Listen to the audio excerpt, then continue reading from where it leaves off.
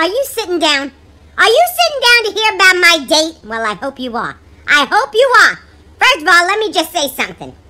I went to the florist, yes I did, to pick Miss, Miss Rose Magoo some flowers, okay?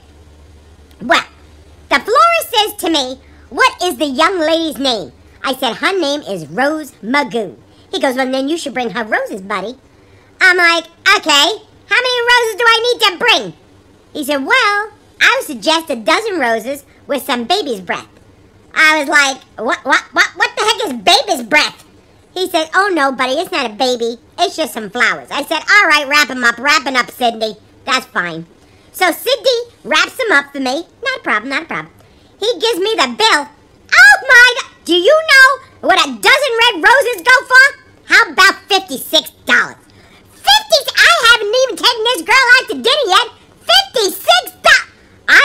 Sydney and I said to him, "Hey, you could give me a break, can't you?" He goes, "No, buddy. Times are tough. I gotta charge you full price." Oh my God! I said, "You gotta be kidding me, man!" And you know, roses have thorns, and Sydney left a couple on the rose stem. Yes, he did. Because I told him, tuck him under my collar. I have to walk the. Oh, please. I couldn't put him in a car. I had to walk to Rose's house, so he, he shoved him under my collar. Yeah. I don't have thumbs, remember? I need these feet to walk. So, I'm walking down the street like an idiot because I look like some kind of float going down the street with roses all over me. Oh, please. Please. I get to her house. I get to her house. I knock on the door ever so gently. Ah, nobody's coming to the door. I start banging on the door. Finally, somebody answers. Her mommy. She goes, Oh, Rose not ready yet. We got reservations, for goodness sakes. Oh, for God. I, I was very patient. I said, Fine, may I come in and sit down? The mother was very nice. I came, I sat down. Well, I'm waiting. And I'm waiting. And these roses are digging a hole in my neck. And I'm saying to myself, But where is she? Where? Well, she finally comes down the stairs. I gotta tell you, she looked beautiful. She looked glamorous. Yes, she did. Yes, she did.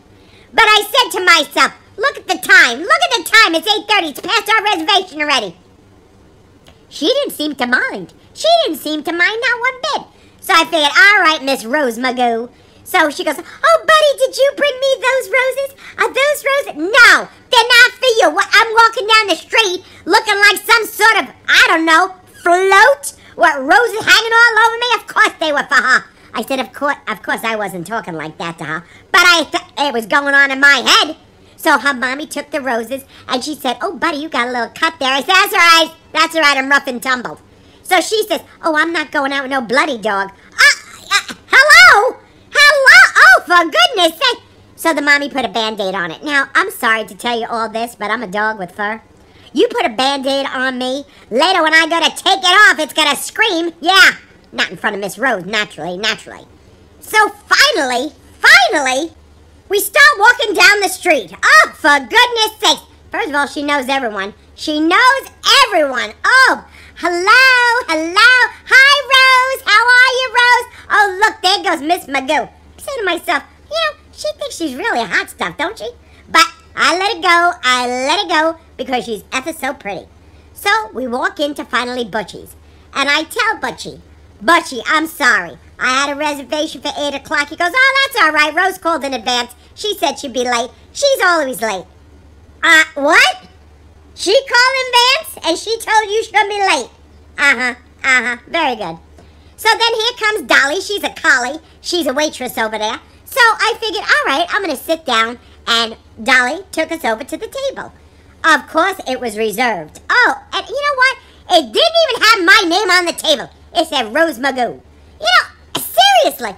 I'm not saying nothing. I'm not saying a word. She's sitting there, cross her legs like a lady. Oh my God. She's ever so glamorous. And she's a lady. Oh my goodness. So Dolly comes over to the table with that, you know, her pencil in hand. And she says, okay, what can I get you guys? I said, well, you know what? I'd like to start out with just a bowl of water. Well, here comes Rose. She goes, oh, I'll take the usual. And I thought to myself, what the heck is the usual?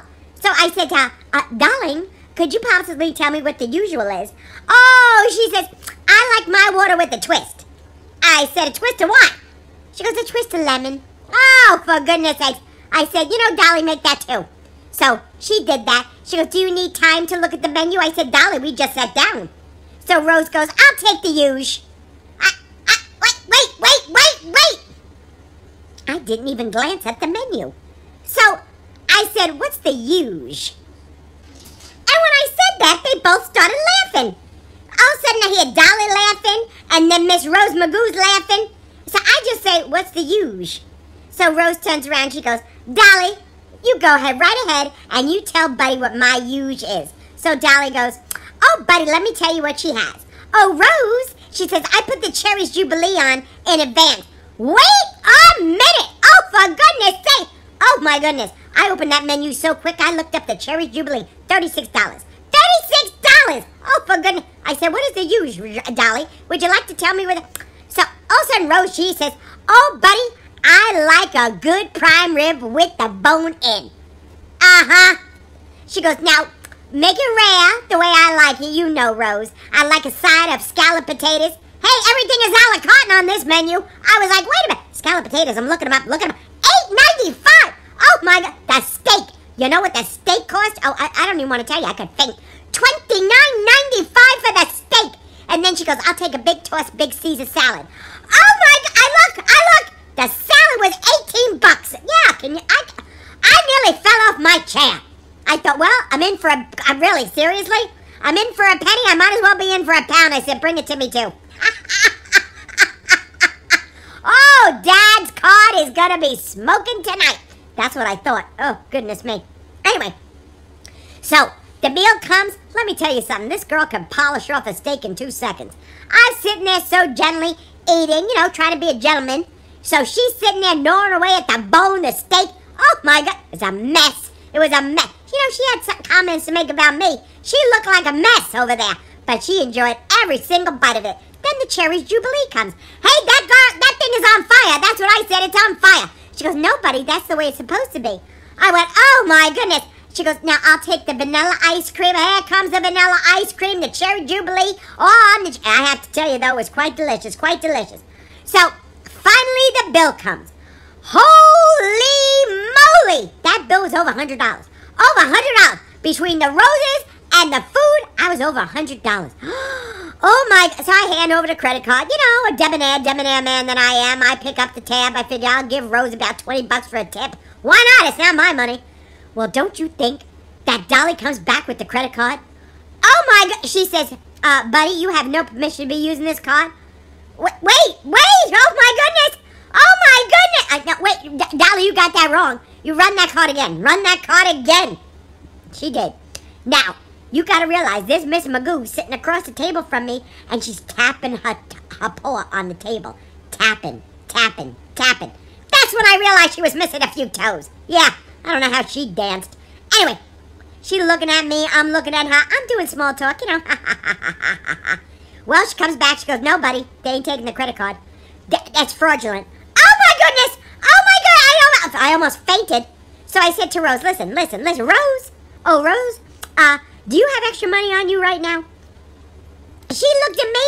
She goes, I'm not paying no bill. You're taking me out on a date. Oh, for goodness sakes. I said, listen, I'll just be alone. Just be alone. I'll pay you right back. I'll pay you right back. She goes, well, what money? You stole a credit card. I said, listen, don't go there with me, sister. You have no idea. She goes, I know O'Malley. I, I said to myself, you have got to be kidding me. Don't you say. Listen, listen, Rose. Rose, Ro I called Butchie over. I said, Butch, Butch, Butch, do me a favor, do me a favor. Slide it, slide it, slide it. He said, for you, buddy, I'll slide it. Oh, thank goodness. He just said I had to come back and wash dishes the next morning. So that's where I've been all night long. I was washing dishes, taking care of everything. I had to pay off that bill. And you know what, Miss Rose? Not even, not even a lick on the nose at night. I walked her all the way home with my bloody neck, yeah, and no money in my pocket, yeah. And she didn't even say, oh, I'd like to go out with you again. You know what she turned around she said to me? Uh, when you get some money, you let me know. And she got in the house, slammed the door, and I had to leave. Oh, my goodness. Then I had to go back and wash dishes. So here I am, like an idiot, with no money in my pocket, I swear I'm gonna go get myself a job. I'm gonna go get myself a job, one that pays. Anyway, my friends, take it easy, and remember, I love you guys.